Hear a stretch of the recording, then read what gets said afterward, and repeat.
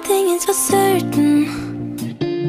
But honestly, we're looking pretty freaking great. I've been trying to learn to Learn to not take everything so seriously. I don't need